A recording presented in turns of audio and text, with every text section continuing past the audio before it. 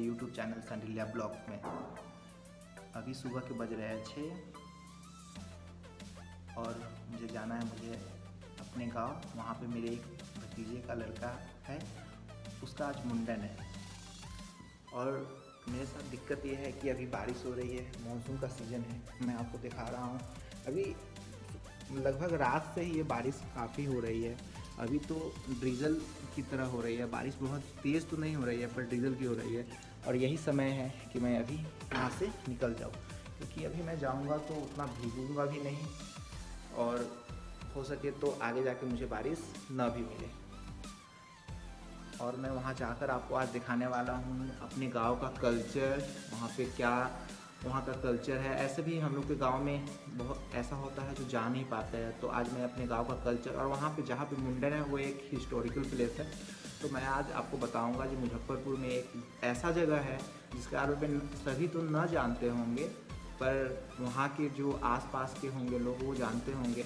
और वो एक काफ़ी हिस्टोरिकल उसकी एक बहुत ही अच्छी, उसके पीछे एक कहानी है। उसके बारे में वहाँ जाकर आपको बताऊँगा। तो चलिए, चलते हैं फिर। तो फिर चलते हैं गाँव।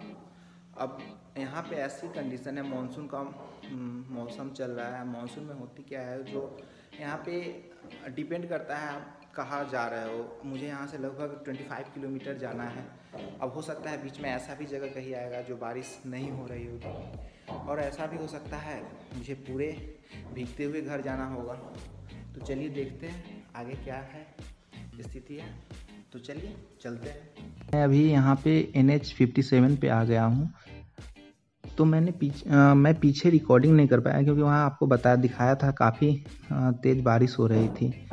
फिर से जैसे ही घर से निकला तो वहाँ से निकलते वक्त तो डीजल सी हो गई, पर जैसे ही निकला घर से तो काफ़ी तेज़ बारिश हो गई। तो मैं वहाँ पे रिकॉर्ड नहीं कर पाया, पर अभी यहाँ पे जैसे ही अपने घर से तीन चार किलोमीटर आगे आया तो वहाँ पे क्या है? यहाँ देख सकते हैं आप, जो यहाँ पे बारिश नहीं हो रही है।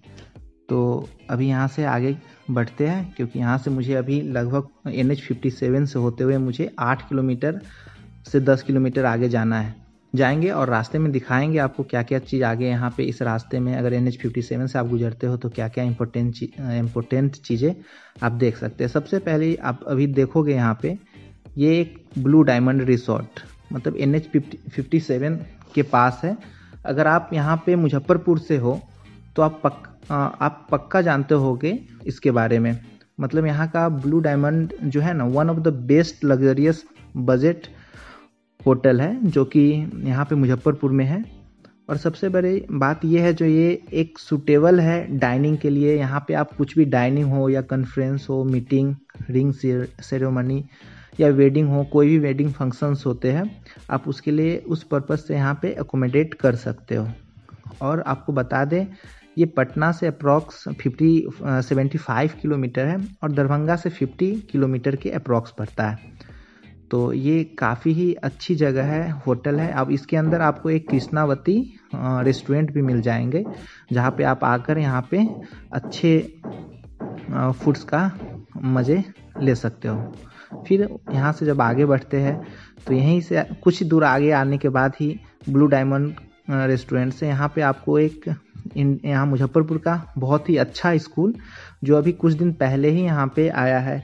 और आप नाम जानते होंगे माउंट लिटेरा जो कि जी जी के द्वारा चलाया जाता है।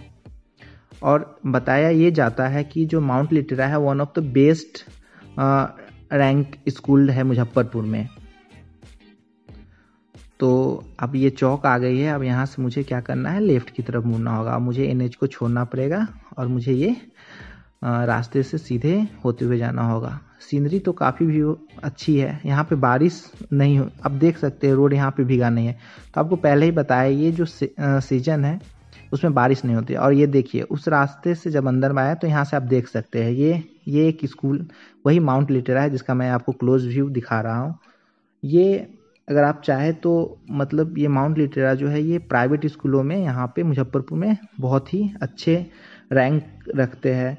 मतलब और ऑल इंडिया में 120 स्कूल से ज़्यादा इसके ब्रांचेज हैं। और चलिए, आगे बढ़ते हैं। अब यहाँ पे क्या है आप देख सकते हैं, ये एक बागमती रिवर का पार्ट है, जो कि पहले बाढ़ के मौसम में बस इसमें पानी रहता है और यहाँ पे कुछ होता नहीं है। फिर से जब आगे बढ़े तो यहाँ देखिए, फिर से बारिश इधर स्टार्ट हो गई है। काफ़ी तेज़ बारिश हो रही है। अब मुझे यहाँ पे कहीं पे रुकना पड़ेगा क्योंकि मैं काफ़ी भीग रहा हूँ। तो मैं यहीं पे वेट कर रहा हूँ कि बारिश रुकेगी। देख सकते हैं आप कितनी तेज़ बारिश हो रहे हैं, हो रही है। और अभी जो बारिश का मौसम है, ये क्या है? आप यहाँ पे देखोगे ये बारिश क्या है? जैसे कि इस, ऐसे रेन को हम लोग बोलते हैं कन्वेक्टिव रेन मतलब कि जब सूर्य की गर्मी पड़ती है तो जो सैलो लेयर जो होते हैं, वहाँ पे उसके पास जो हवा होते हैं, वो गर्म हो जाते हैं। अब जब कोई भी हवा गर्म हो जाएगा तो क्या होता है? ऊपर की तरफ़ बढ़ने लगता है। अब जैसे जैसे ये ऊपर की तरफ़ जाता है, और कोई भी चीज़ हमारे एटमोसफेयर में जब ऊपर की तरफ़ जाता है तो होता क्या है? वो धीरे धीरे फिर से ठंडा होने लगता है। अब इसके कारण क्या होता है? अब फिर से वो ठंडा हो जाएगा तो वो वाटर वेपर बन जाएगा। अब पढ़े होगे बचपन में, आप लोग जानते होंगे जो कंडेंसेशन एक प्रोसेस होता है। फिर से क्या होगा, वो वाटर लिक्विड के फॉर्म में क्लाउड जो होता है, वो एक लिक्विड के फॉर्म में होकर हमारे रेन ड्रॉप्स होता है। और मेनली जो ये होता है, ये सावर की तरह होता है। आगे बढ़ते हैं और आपको दिखाते हैं कि यहाँ के रोड अब रोड क्या है? यहाँ पे आप देख सकते हो जो ये अभी जिस रोड से हम आगे बढ़ रहे हैं, वहाँ पे काफ़ी ही कीचड़ है। मतलब बारिश के मौसम में यहाँ पे कीचड़ बहुत हो जाते हैं। तो दिक्कत ये है कि जो अभी नल जल योजना जो हमारे प्रधानमंत्री के द्वारा चलाया गया था। उसके तहत हर एक गाँव में पानी पहुंचाना एक है। तो उसी के तहत यहाँ पे जो है ना, पाइप का वो डाला जा रहा है। इसके कारण यहाँ पे आप साइड में देख सकते हो, ये गड्ढे खोदे हुए हैं। वो जो मिट्टी आया है रोड पे, इसके कारण बारिश में बहुत ही फिसलन हो गई है।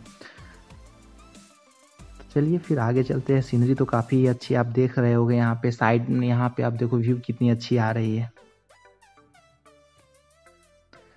अब हम मेन जो था मैंने बताया था आपको जो मुझे अपने गाँव जाना है जहाँ पर मुंडन है मेरे भतीजे का लड़का का तो अब ये वो जगह है। आप यहाँ देख सकते हो ये काफ़ी पुराने पीपल का पेड़ है।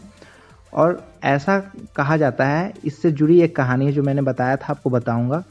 इससे जुड़ी ये कहानी है कि यहाँ पे बहुत दिन पहले आ, मतलब गंगा यहाँ गंगा के किनारे पहलेजा घाट के पास वहाँ पे पाँच भाई रहते थे। तो वहाँ पे क्या हुआ? वहाँ पे सूखा पड़ गया। तो हुआ ऐसा बताया जाता है, जो सूखा पड़ गया तो फिर वो लोग क्या किए? वो लोग वहाँ से चल दिए। अब नदी के किनारे होते होते होते होते अब वो लोग क्या हुआ?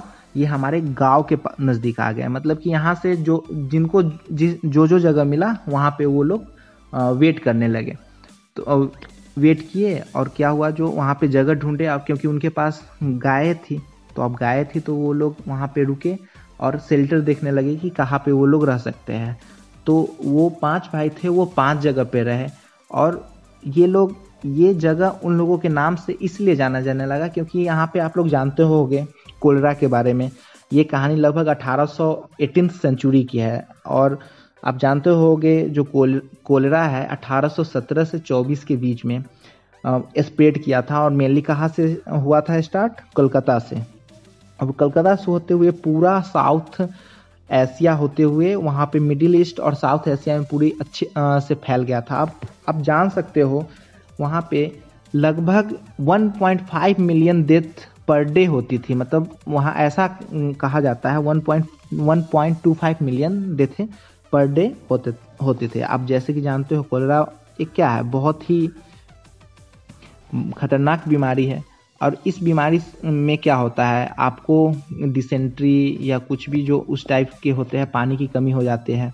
और ये जब कोलकाता में फैला था ना तो वो क्या हुआ? यहाँ बढ़ते बढ़ते बढ़ते पूरे जगह पे आ गया। और ये बिहार में भी बहुत जगह पे आ गया, जैसे पूर्णिया या जहाँ पे ये लोग सेल्टर किए थे तो हर जगह फैलने के बाद क्या हुआ, ये लोग जो उस समय थे ना, सभी का बहुत हेल्प किए। मतलब ये जो पाँच भाई थे, वो बहुत हेल्प किए और मदद करते करते करते क्या हुआ, ये लोग वहीं पे डेथ कर गए। तो अब क्या हुआ, यहाँ के जो लोग थे, इन लोगों जो मदद किए थे, इसके कारण क्या हुआ, इन्हें भगवान मानने लगे और क्या हुआ, इन लोगों को पाँच स्थान दे दिया गया। उसी में से एक स्थान है ये, जिसे हम लोग देख रहे हैं। अभी यहाँ पे आप देख सकते हो। वही उसी में से एक स्थान है, जिसे हम लोग बोलते हैं लंगड़ वीर स्थान। और यहाँ यहाँ पहुँचने के लिए तो भाई रास्ता काफ़ी ही कठिन है। आप यहाँ पे रास्ता भी है नहीं, क्योंकि यहाँ के जो लोकल्स है, वो यहाँ पे ज़मीन दे नहीं रहे हैं तो यहाँ का रास्ता काफ़ी कठिनाई भरी है। आपको, अभी तो मैं अकेले था आते वक्त, इसलिए आपको रास्ता नहीं दिखा, पर जाते वक्त किसी को पीछे गाड़ी के बैठाऊँगा और आपको दिखाऊँगा कि रास्ता कितनी कठिन है। और यहाँ पे क्या था, जो मुंडन सेरेमनी जो भी है वो आप यहाँ पे वीडियो में देख रहे होगे। वहाँ पे जो भी सेरेमनी हुआ, उसके बाद क्या होते हैं, यहाँ पे जब हम लोग के यहाँ मुंडन होता है तो वहाँ पे कुछ जो भी लोग होते हैं, उनको कम से कम कुछ लोगों को वहाँ पे खाना खिलाया जाता है। तो क्या करते हैं, वहाँ से कैरी करके कुछ जो भी खाना होता है, वहाँ से अपने घर से ही बनवा कर कैरी करके यहाँ पे लाते हैं और सभी बैठ कर खाते हैं। और तो देखिए, यहाँ बहुत मज़े से, क्योंकि जगह काफ़ी ही अच्छी है। यहाँ सभी मज़े से खा रहे हैं। तो ये कहानी थी और ये काफ़ी प्रसिद्ध है। अगर आप आस, आप लोग अगर बाहर से हो तो इसके बारे में ना जानते होगे। आपको विकीपीडिया पे नहीं मिलेगा, ये गूगल पे ये चीज़ नहीं मिलेगा, पर मैं आपको बता दूँ, ये अगर आप आसपास अगर बिहार से हो, मुजफ्फरपुर से हो तो आप जानते होगे ये एक स्थान। वो पाँच भाई थे ना, वो पाँचों भाई का एक नाम दिया गया हुआ था। देखिए, यहाँ से ये जो रास्ता है, खेत में बारिश हो गई थी तो बारिश के कारण और काफ़ी दिक्कत हो रही थी। रास्ता मिट्टी है मतलब जैसे कि दो खेत होते हैं खेतों के बीच में जो एक लकीर जिसे हम लोग होते हैं मतलब वो जो डिवाइडर होते हैं दोनों खेत के बीच के, उसी के ऊपर से जाना पड़ा। काफ़ी ही कीचड़ थी। बहुत दिक्कत हो रही थी बाइक जाने जाने में भी काफ़ी कठिनाई हो रही थी यहाँ पे। तो उसके बाद क्या हुआ, यहाँ से आगे जब बढ़े तो यहाँ से थोड़ी दूर, क्योंकि यहाँ से एक किलोमीटर लगभग पीछे ही अगर आपका कोई अगर फोर व्हीलर से जाते हो, कार से जाते हो तो आपको यहाँ पे लगा कर ही यहाँ से पैदल जाना होगा, या अगर किसी के पास बाइक है तो उसके सहारे आप आगे जा सकते हो। फिर उसके बाद अगर यहाँ से निकलोगे तो काफ़ी ही अच्छी रास्ता है, पर आपको एक किलोमीटर काफ़ी ही दिक्कत झेलनी पड़ेगी। चलिए तो फिर इसी के साथ हम इस वीडियो को एंड करते हैं। अगर आपको मेरा वीडियो पसंद आया हो तो आप मेरे चैनल को लाइक करें शेयर करें और सब्सक्राइब करें। Thank you